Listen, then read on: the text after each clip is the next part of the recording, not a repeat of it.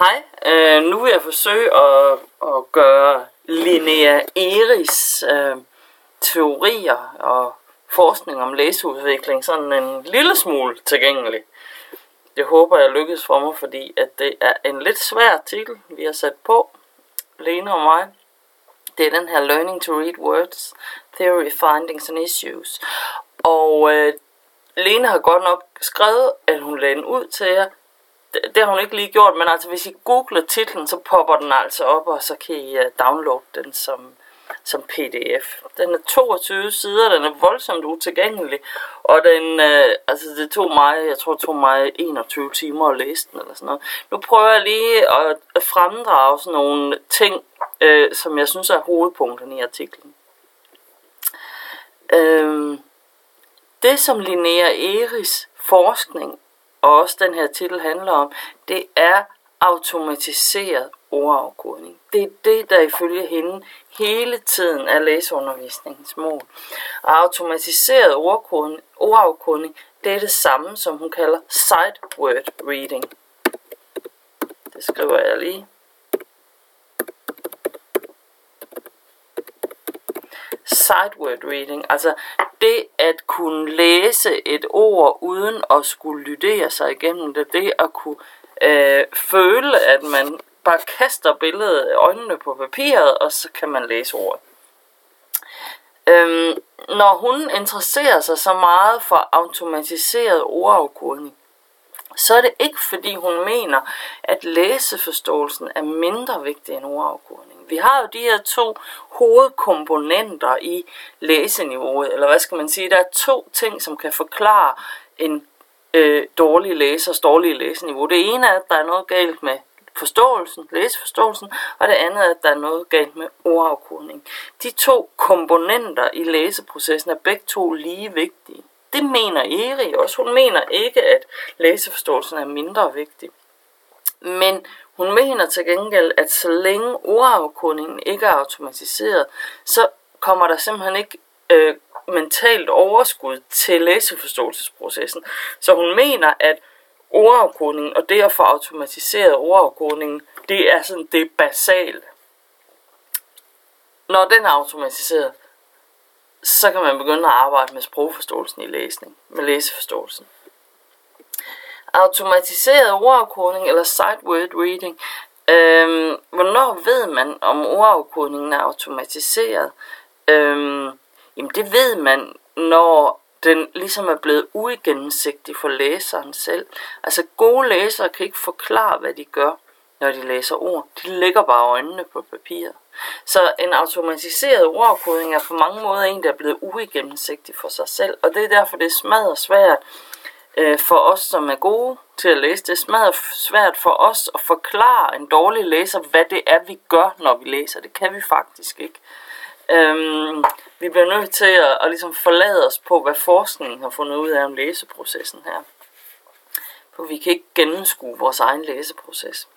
Et andet tegn på, at ordafkodningen er automatiseret, det er, at den ligesom unddrager sig viljens kontrol. Man kan ikke lade være med at læse ordet det var det, jeg viste i, øh, i øh, den, det, det, som den test, der hedder Stroop-testen, viser. Og der kan I kigge tilbage på PowerPointet om læsevanskeligheder kapitel 1-2, der forklarer jeg øh, noget om Stroop-testen.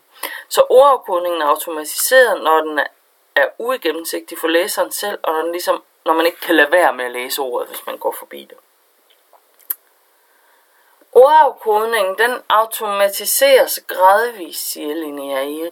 Den automatiseres i takt med, at læserens sight word vocabulary vokser. At læseren etablerer flere og flere ord i sit indre leksikon som sight words. Og sight words, det er ord, man ikke behøver at lydere sig igennem. Øhm, det som, når, når et ord er et sideword for læseren, så behøver han ikke at lydere sig igennem det. Så sætter han lyd på en bogstavfølge af gangen, eller på en stavelse af gangen, eller på en morfem af gangen. Og de her bogstavfølger, man sætter lyd på, de kan være lydrette, og de kan være øh, ikke lydrette. Linnea Eri, hun har sådan nogle tegninger inde i sin artikel, hvor hun øh, øh, tegner, hvordan man forbinder øh, ups, skal lige se. Og hun tegner, hvordan man forbinder inde i sin hjerne øh, de her ord med bogstaver. Øh, regelmæssige ord, eller ret regulære ord, der er der en forholdsvis en-til-en-agtig forbindelse mellem lyden, øh, markeret her med skråstreger, og så bogstaver. Øh, men øh, hvis vi går ned til de uregelmæssige ord, så ser det selvfølgelig lidt mere kompliceret ud. Island for eksempel, ikke? der er det S'et, der laver i'et om til sådan en I-lyd. Så det er en, det er en engelsk lydfølgeregel, vi har med at gøre her. Ikke? Og øh, når læseren er nået så langt, at island det er blevet et side word, så behøver øh, han ikke at sidde og stave I, S, Is, Isl. Så kan han bare se, jamen der står, der står IS, der er en bogstavfølge, jeg kender her, IS. Jeg ved, den lyder ej, Så jeg forbinder straks den her bogstavfølge med lyden ej. Ligesom i bogstavfølgen SW, der ved jeg, at øh, den skal bare lyde S. Ikke? Der forbinder jeg straks den her S. Så, og så siger jeg sort. Ikke? Og så jeg ved, at jeg ikke skal sige sword. øhm, det, de her, når, man, når man laver den her proces, som er illustreret ved pilene, så har man etableret island og sword som side words. Øhm, og behøver ikke længere lydere sig igennem det. Og det er en stor fordel ved uregelmæssige ord, fordi det er jo rigtig svært at komme frem til den rigtige udtale af sort eller island ved at lydere sig igennem ord. Det kan man faktisk ikke. Så kommer man til sådan en regulariseret udtale, som Erik kalder det, altså en, en forkert udtale. Iceland, ikke? får man så sagt i stedet for Island, eller Sword i stedet for Sword. Øhm, der er fire faser i øhm, etableringen af et ord, som, altså et, når et ord det bliver etableret som sideword, så har, så har læseren sådan set været igennem fire faser med hensyn til det ord. Og fase 1, det er det, jeg Airy kalder Q-reading. Det er der, hvor læseren leder ind i, efter information i konteksten for at læse ordet. Øhm, og så længe, altså hendes påstand, det er ikke en påstand, for hun har faktisk bevist den. Ikke? Hun har vist, at hvis man ikke bliver sikre sikker i sproglyden, så bliver man ved med at forsøge at læse konteksten i stedet for at læse ordet. Og det skriver hun også noget om i sin artikel, i sådan et forsøg, hun har lavet, og det er på side 7. Jeg prøver lige at finde på side 7 i pdf-filen. Øh, bup, bup, bup, bup. Var det her? Yes. Det er et forsøg, hun har lavet. Øh, for en del år siden efterhånden. Hun begynder at skrive om det hernede. Det er fra 80'erne. Øh, det, øh, der de gjorde i det her forsøg, hun skriver det sådan lidt knudret her, det var, at de øh, fik fat i nogle øh, førskolebørn, og så øh, delte de dem op i to grupper. Den ene gruppe var ekstremt god til at læse skilte, altså hvis de så en sodavand, der stod Pepsi på, så kunne de straks læse Pepsi. Hvis de så et skilt med cornflakes, kunne de læse øh, cornflakes, de kunne læse vejskiltene og så videre. Og de her, de her børn, øh, som var rigtig gode til det, de kom så i gruppe A, og de andre børn, der ikke var ret, der ikke kendte særlig mange af de her ord i kontekst, de kom i, i gruppe B. Hvis jeg skal forbinde det med det her, så vil jeg sige, at øh, hun delte de her børnehavebørn op i dem, der var rigtig gode Q-readers, dem, der havde etableret rigtig mange ord, de kunne læse ved hjælp af Q-reading, og så dem, der ikke havde så mange ord. Øhm, da hun, øh, det hun fandt ud af i forsøget, jeg bladrer lige en tand her, det var, at, øh, at, det kunne, at, at de femårige, der var bedre til Q-reading, til ortografisk læsning, ortografisk læsning, det er det samme som Q-reading, det kan jeg ellers skrive her jeg spillede der helt forvirrende. Øh, de børn, den gruppe A her, der var bedre end til logografisk læsning, til Q-reading, der kunne rigtig mange ordbilleder. Øh, der var der nogen, der, altså, hvis, hvis, hvis logografisk læsning, hvis Q-reading automatisk førte til god læseindlæring, automatisk førte til, at man knækkede koden, så vil de jo være, så vil de jo være længere på vejen mod at bruge ordsgrafiske information, end deres jævnaldrende var. Eller sagt på en anden måde, hvis Q-reading, det var en hvis Q-reading her, eller træning af Q-reading, det var vejen til at knække koden, øh, så ville gruppe A være, mm, være bedre til at lægge mærke til, når at man ændrede Pepsi til for eksempel XEPSI. Øh, det gjorde Linnea Erik. Hun ændrede de her logo. Hun skrev, i stedet for cornflakes, så skrev hun måske cornlex, ikke også? Pepsi blev til XPSI i stedet for. Så hun lavede ordene en lille smule om. Hun skiftede bogstav ud i hver ordene af de der logoer.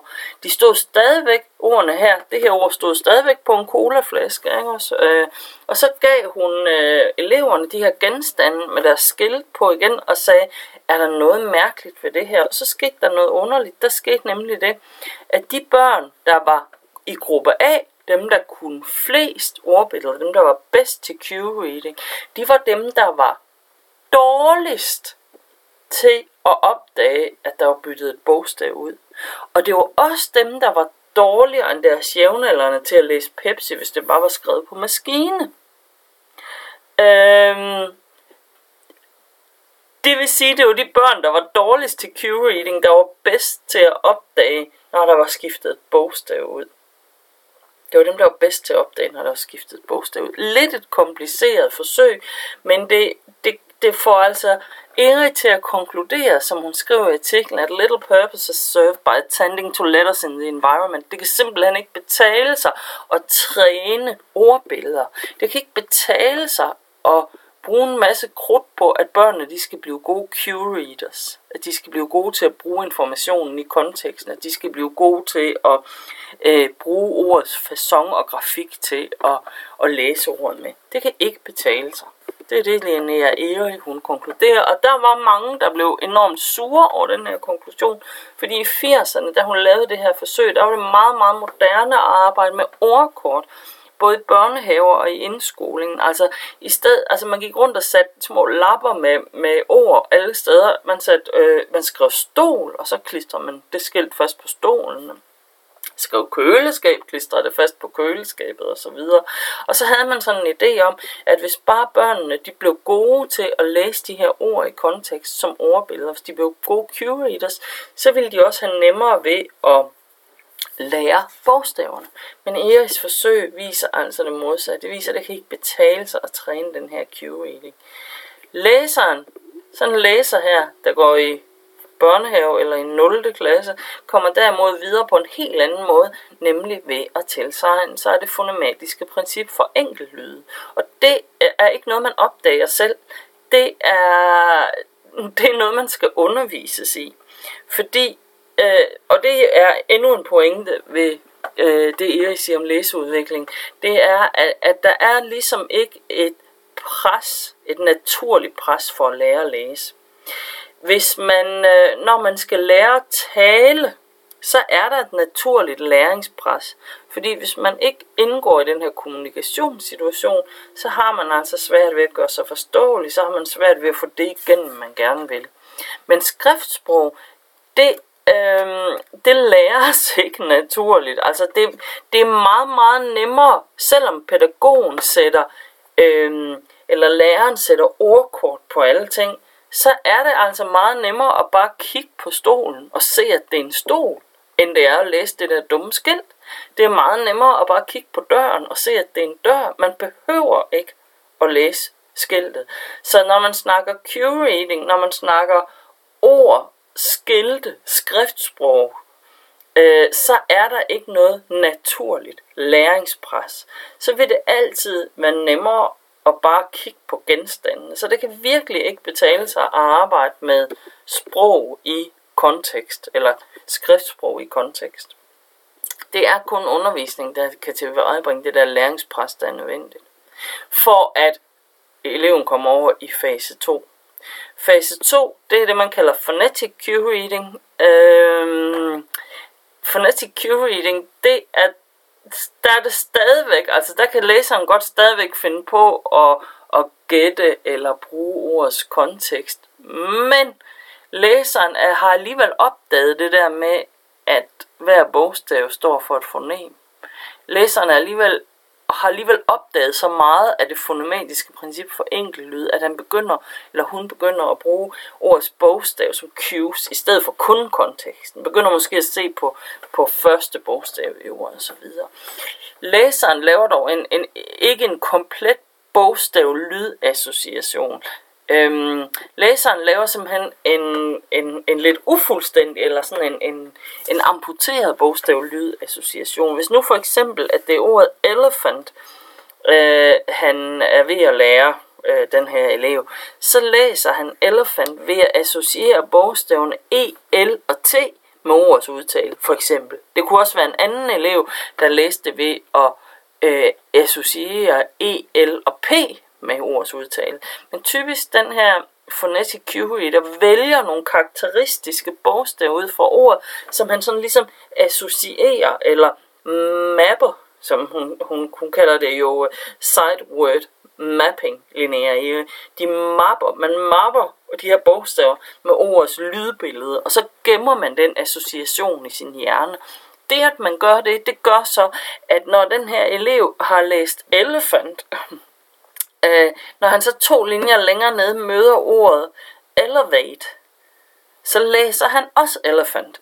Fordi elevate indeholder jo også E eller T, og derfor aktiverer det lydbilledet elephant. Ikke? Det er sådan nogle type, det er en typisk fejl, sådan en phonetic cue reader laver. Ikke? Der er han ligesom nået til i sin øh, læseindlæring. Øh, der kan også, for uden de her forvekslingsfejl, så kan der også godt være mange semantiske fejl, læsefejl i den her fase. Curators, de har tit svært ved at læse nonsensord. De vil gerne have det til at være rigtige ord. Og det er fordi, de er meget afhængige af den der semantiske tilbagemelding. Det er jo sådan, at når vi, når vi læser om et bestemt mm, emne, som Linnea Eri skriver, så primer det semantiske system nogle ord. Hvis jeg for eksempel ser en, øhm, en tekst, som har overskriften solsorten, så gør min hjerne, eller det semantiske system i min hjerne, det, at den, den får nogle bestemte ord til at poppe op, som det kunne være. Så bliver der med det samme skubbet nogle ord frem i korttidshukommelsen, som der måske eller sandsynligvis kunne være i en tekst om solsorte. Øh, og, og der sker tit det, at den fonetiske curator her sådan, gætter på en af de ord, der er primet frem. Og det kan man som sagt teste ved at, at teste vedkommendes læsning af nonord. Så nogle der phonetic cue readers, hvis man laver en nonordstest fra Elbros ordlister for eksempel, så vil øh, sådan en læser her typisk lave mange af ordene om til rigtige ord. Også selvom han har fået at vide, det her, det er altså en nonordstest. Og det gælder altså også voksne mennesker, der er i den her fase. Ikke? De, vil, de vil også gøre det. Øh, uh, phonetic cue reading. Uh, øhm, vi skal lige se et lille eksempel. Det er et barn, der læser højt øh, her i børnehaveklassen. Det skulle måske...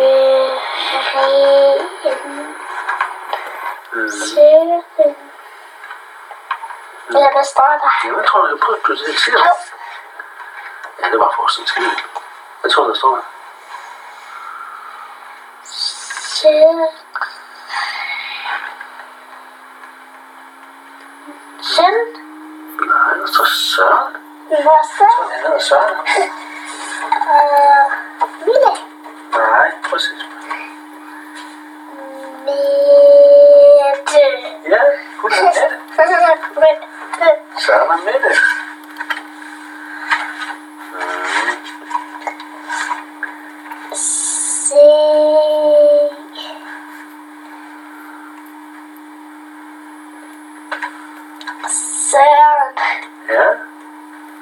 Hvad er det for bogstaver? det er nummer to der. Ja, men det kender jeg ikke. Det Det der. er G. Som det lille G. Se Søren. Og, Ja, og. Står der. og Mette. Ja, Mette.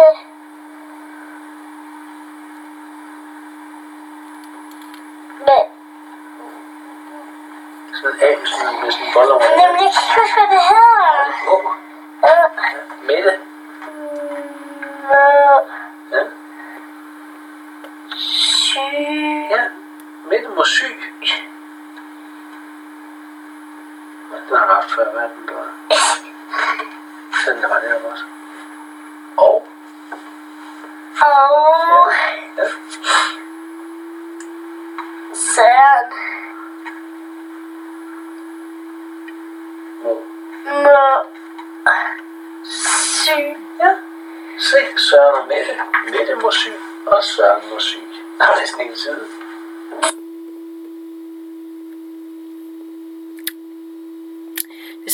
Se med Julie her, øh, det er, at hun er, det er selvfølgelig en helt naturlig øh, læseudvikling, hun er inde i her, men det er, at hun øh, med hensyn til nogle øh, ord er phonetic Q-reader. Når hun skal læse Søren for eksempel, hun har jo kigget på bogstaverne, og så har hun aktiveret nogle øh, ord, der kunne komme i den her tekst. Det kunne godt stå søn, datter, far, mor og sådan noget, for der er et billede af nogle, nogle børn. Ikke? Øh, så når hun ikke kan få lavet hele bogstavlydassociationen i Søren, så gætter hun på søn, så laver hun sådan en semantisk læsefejl her. Ikke? Øh, så hun er øh, med hensyn til nogle af ordene, nogle af ordene, de er tilegnet øh, på den her måde. Altså de er, der er hun kun nået til den phonetic cue reading fasen. Ikke?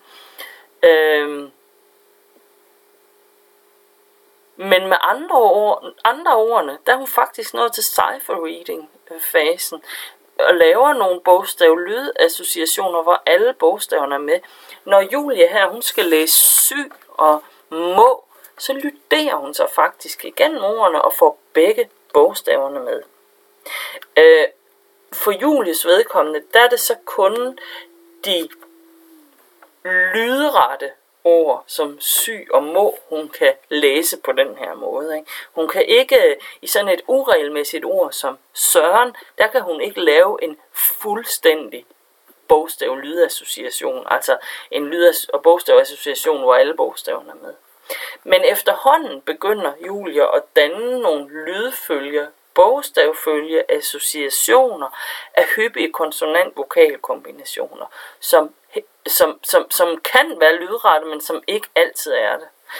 Øh, hun har svært ved at læse hurtigt, øh, og det har man i den her cipher reading fase. Ikke? De ord, der er tilegnet, der er nået til cipher reading fasen, fordi som vi kan se på Julie, så, så er alle slags ord ikke ligesom nået lige langt, men de ord, der, hvor hun er nået hertil med, Øh, dem kan hun læse, men det går langsomt. Ikke? Hun kan godt læse nye ord. Hun har sandsynligvis ikke læst må før, men hun kan godt læse det, men hun kan ikke læse dem hurtigt. Det går her langsomt. Det går så langsomt, at hendes far er nødt til lige at læse teksten op til sidst, for også at få sammenhængen i indholdet med. I den her fase der er det nemlig karakteristisk, at man uh, read, uh, they read words by forming and retrieving phonetic association in memory. Så de danner øh, de her associationer mellem enkeltlyde og bogstaver, mens de læser. De har ikke nok viden om det ortografiske system til at læse ukendte ord from scratch, til at læse ukendte ord hurtigt. Hver gang der er et nyt ord, og for Julia der er de fleste ord nye, fordi hun er lige begyndt at læse. Hver gang der er et nyt ord, så skal hun lytte sig igennem det den her fase, når hun er nået hertil, så holder hun op med at have semantiske læsefejl. Øhm, fordi det, der sker i den her fase, når man er nået godt ind i den her cipher reading fase, det er, at ord, ordene, ordene fra det semantiske netværk, som normalt står på spring, ikke? I kan se for Julie, der står ordet søn på spring, ikke? Derfor hun læser Søren som søn. Ikke? Ordene fra det semantiske netværk, de står faktisk altid på spring, ikke? også for at blive læst. Men øh, i den her fase, der er dannelsen af bogstav-lydforbindelser på enkeltlydsniveau.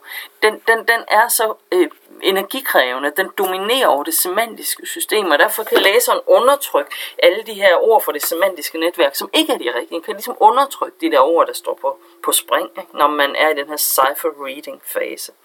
Det er den her fase, øh, som Linnea Erik kalder glue lim, ikke også? I den her fase, der limer man bogstaverne og lydene sammen. Ikke? Øhm, fase 3 er pissevigtig, altså den her cipher reading fase. Man kan ikke springe over den eller forkorte den. Der er mange, der har foreslået, at, at børn, der har, eller voksne for den sags skyld, der har problemer med lydene, om man dog ikke kunne finde på en eller anden måde at springe over den her fase på, fordi at når man har svært ved lyde, altså når man har svært ved at høre de distinktive faktorer ved lydene, høre forskel på A og A, eller høre forskel på I og I, så er det her en rigtig svær fase. Det er en rigtig svær fase for, for ordblinde for eksempel, eller for, for nogen med, med, med andre slags lydvanskeligheder. Men den kan ikke springes over, eller den kan heller ikke forkortes, fordi at øhm, det der sker i den her fase, det er, at læseren udvikler sig langsomt fra at være opmærksom på hver enkelt af ordets bogstaver til at erkende eller til at tænke i spelling patterns that occur in words to make them systematic. Efterhånden så vil Julie opdage, at øh, der er nogle spelling patterns, der går igen i teksten Søren og Mette. Øh, og der er ingen magiske tricks, der kan speed den her proces op. Og hvis man er voksen og befinder sig i Q-reading-fasen, så er man også nødt til at igennem den her cipher-reading-fase. Vi skal lige se på Julia igen og se, hvordan det, hvordan det går lidt senere. Fordi at øh, der er nemlig nogle flere her, hun er blevet ældre. Asbi, nej, bød. Søren, gå. En.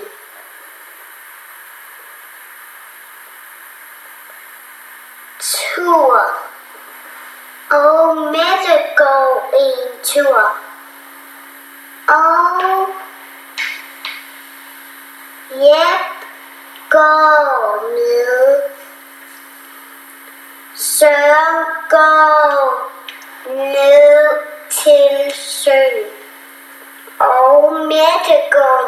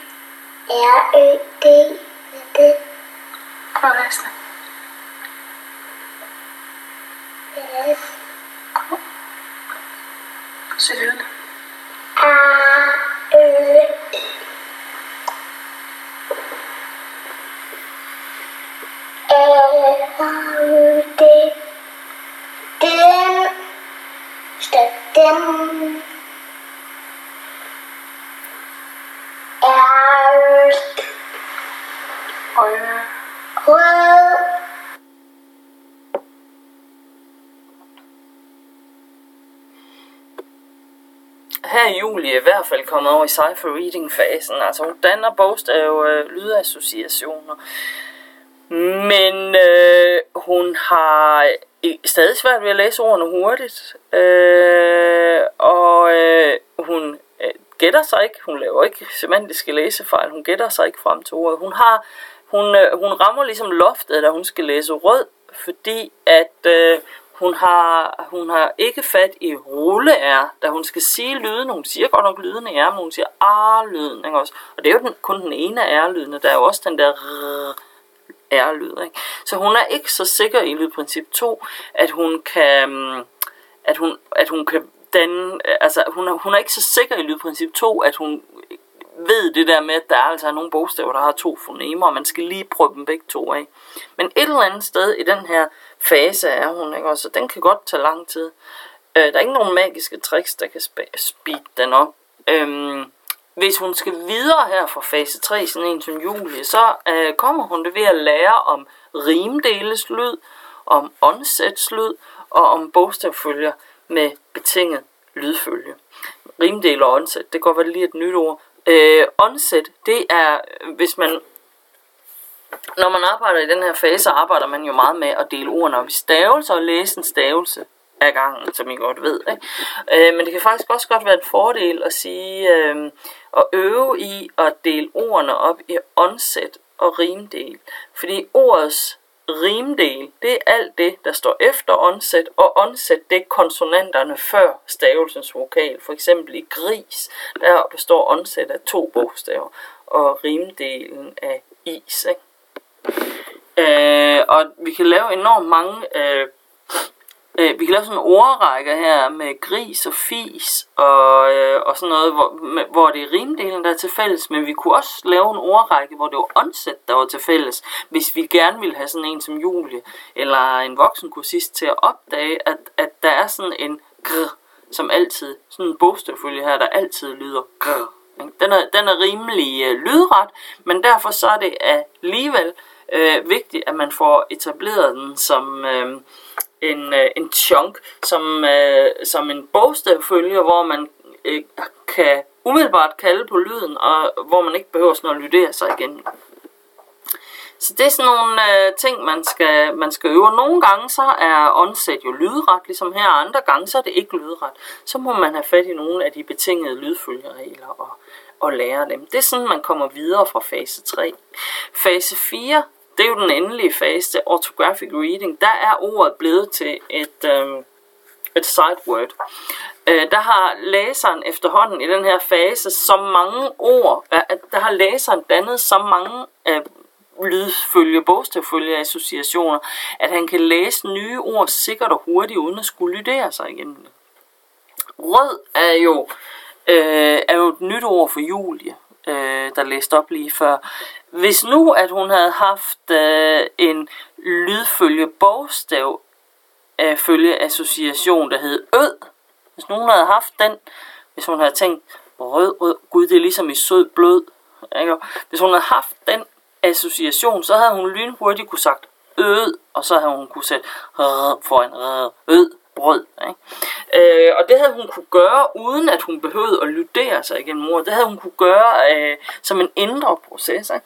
Hvis hun havde kunne gøre det, så havde hun været i den her orthographic reading fase. Ikke? Her er der kun ganske få semantiske øh, læsefejl, fordi den semantiske ordlæsningsstrategi, det der med at lave kvalificeret gæt på, hvad for nogle ord det kunne være, den er reduceret til en backup-strategi. Det er den ortografiske strategi, der dominerer i den her fase, og det skal den også, fordi det er det, der er målet. Øh, og, og på den, i det her niveau, der har læseren også styr på det fonematiske princip for lydfølger. Læserne skal selvfølgelig ikke have styr på lydfølgereglerne på samme måde, som I skal have styr på lydfølgereglerne. De skal jo bare have styr på lydfølgereglerne på brugerniveau, sådan at de ubevidst, eller hvad skal man sige, øhm, automatisk ved, at når der kommer sådan en, der hedder SP, så er P stumt. Ikke? Øh, eller tænker noget røv. Når, der kommer, når ord starter med SP som onset, så lyder P'et som B.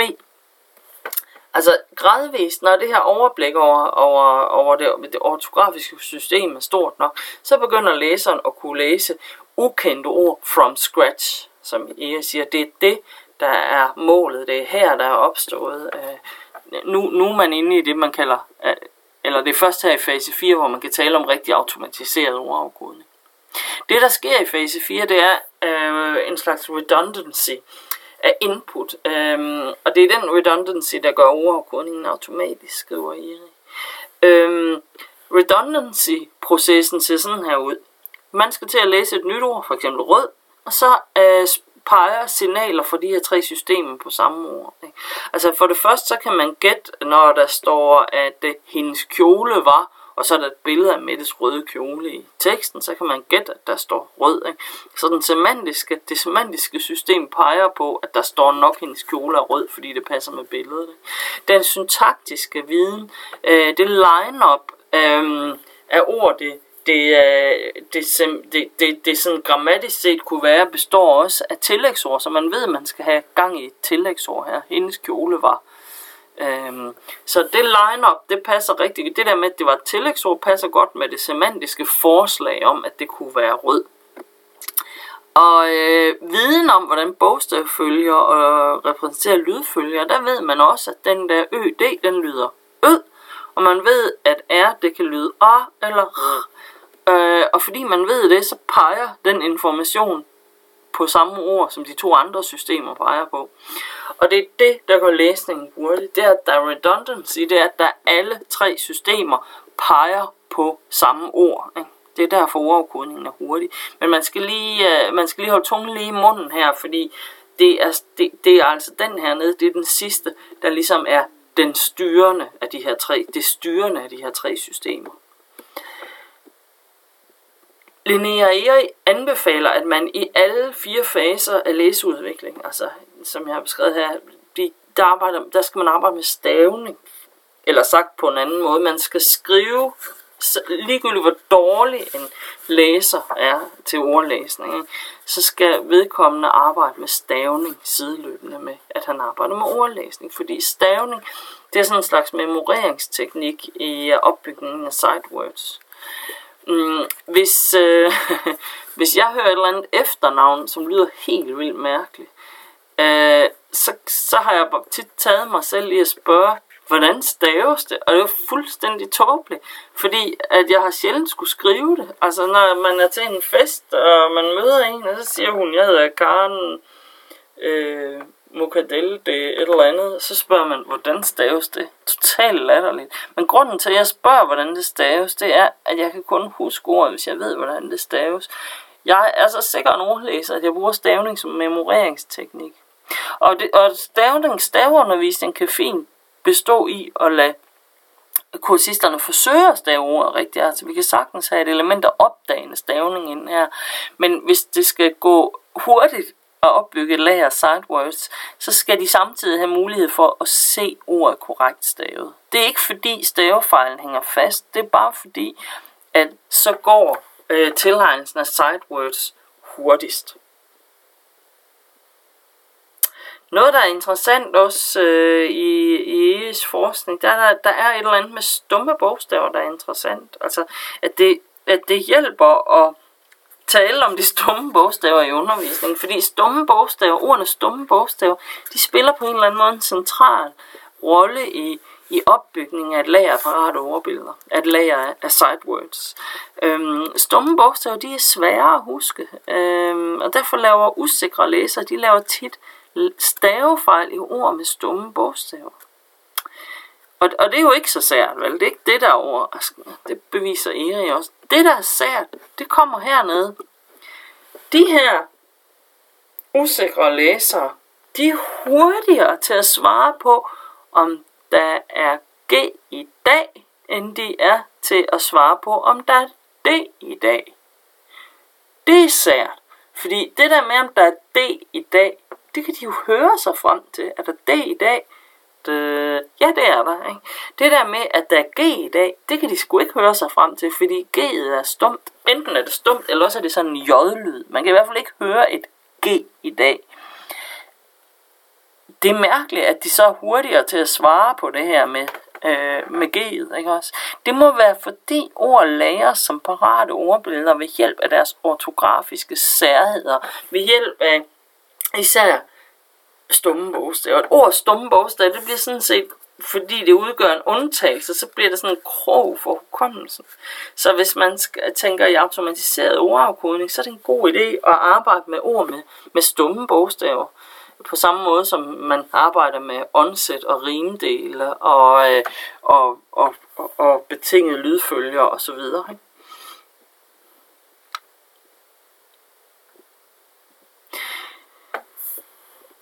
Fonologisk omkodning af ord med tryksvage vokaler, det er også en husketeknik. Øh, det, det er meget, meget mærkeligt, men for at, øh, når, hvis man nu skal læse et, et, et ord som øh, øh, horizontal, det er Eris eksempel, så hvis man, når det er et tillægsord, så hedder det horizontal, men når det er navnord, så hedder det horizon. Det vil sige, at man har lavet øh, i-lyden om, øh, når man ændrer formen. Altså, ord, der har været trykstærke i ordets grundform, de mister tryk i den afledte eller bøjet form. Det finder vi også i dansk. Altså, det hedder vand, men hvis det bliver sat sammen med kande, så hedder det vandkande. Så bliver A'et ligesom anderledes. Øh, og jo mere man har læst, jo flere af de tryksvage vokaler udtaler man. Det vil sige, en, der ikke er læsevandt, øhm, får typisk ikke fat i den midterste del af ordet selvfølgelig. Fordi den midterste del, altså den der GE, især den der GE, den vokal E her, den forsvinder ligesom, den er tryksvag. Det kan godt være, at når jeg siger selvfølge, så kan jeg godt høre, der er en vokal til sidst, ikke? men når jeg laver det om til selvfølgelig, så forsvinder den der E-agtige eller Ø-agtige vokal her. Øhm, det der er interessant, det er, at hvis man er en svag læser, en phonetic cue reader, så forsvinder den her, så staver man S-E-F-Ø-L-D. D-I. Det vil børn typisk stave. Ikke? De vil ikke have fat i den midterste. De vil have en stavelse for lidt med. Når man er blevet cipher reader, så får man fat i den her tryksvage stavelse. Ikke? Så læsning påvirker altså artikulationen, og, artikula fordi, og artikulationen påvirker stavningen. Ikke? Jo flere stavelser man får fat i, jo bedre. Ikke? Så det skal man, man, man, man skal arbejde med den her, det her med, at øh, hvad er det lige, der sker med ordene, når de bliver bøjet og sat sammen sådan rent lydeligt. Um, øhm, det er også et, et, godt, et godt husketrik. Yes, det var de, de vigtigste ting ved Erik. Det var slet ikke det hele, men det var de vigtigste ting. Jeg håber, det hjalp en lille smule på den her rimelig svære artikel.